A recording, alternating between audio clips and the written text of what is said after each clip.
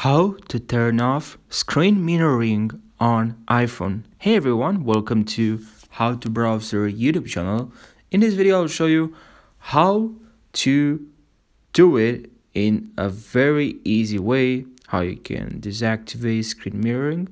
So now if you are new to my YouTube channel, make sure to subscribe for more tutorials.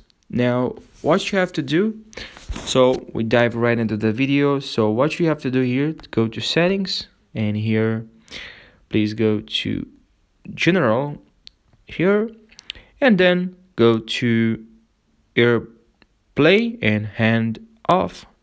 And here we have automatically airplay to TVs so you have this enabled if you want to deactivate or to just to turn off screen uh, mirroring on your iPhone device, just select never. Please select never. Please select never. Now that's how you do it.